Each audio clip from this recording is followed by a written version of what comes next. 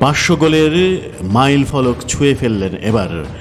দুনিয়া জোড়া খ্যাতি যার সেই কিংবদন্তি খেলোয়াড়, কিংবদন্তি footballer CR seven Cristiano Ronaldo. ভাবা যায়, এক জীবনে পাঁচশো গোলের মালিক তিনি। সময়টা তার কিন্তু ভালো যাচ্ছিল না। ম্যানচেস্টার ইউনাইটেডে কোচ অ্যারিকো টেইন হাগের সঙ্গে দ্বন্দ্বে জড়িয়ে ছেড়েছিলেন ক্লাব। বিশ্বকাপেও শেষ আট থেকে বিদায় নিতে হয়েছিল তাকে। সৌদি আরবে এসেও খুব একটা ছন্দ খুঁজে পাচ্ছিলেন না। অবশেষে রাতের ম্যাচে পেনাল্টি থেকে সৌদি লিগে নিজের প্রথম গোল করলেও সেদিনও নিজের সেরা ছন্দে ছিলেন না সিআর সেভেন।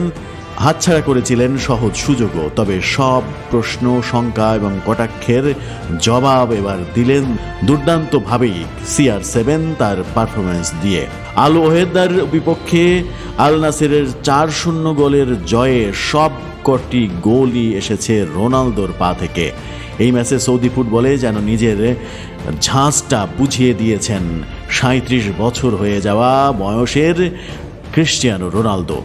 একই সঙ্গে ওই চার গোল দিয়ে নিজের পাঁচশোতম লিগ গোলের চূড়ান্ত যে জায়গা, সেই জায়গাটিকে স্পর্শ করেছেন। ম্যাচ শেষে সামাজিক যোগাযোগ মাধ্যমে প্রতিক্রিয়া জানিয়েছেন, বলেছেন, দারুণ অনুভূতির কথা।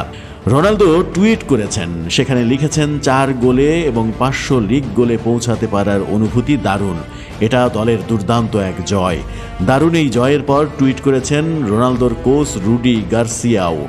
তিনি লিখেছেন, দারুণ কাজ হলো। যে গার্সিয়া কদিন আগেই রোনালদোর জায়গা ইউরোপে হবে, রোনালদোর অবসরটা সৌদি আরবে হবে না, এরকম মন্তব্য করে সৌদি ক্লাব তাকে ছেড়ে দিচ্ছে। এই আলোচনায় আরও বেশি করে আগুনে ঘি ঢেলেছিলেন সেই কোচই এবার টুইট করে। বিষয়টিকে অভূতপূর্ব, দারুণ কিছু বলে উল্লেখ করলেন।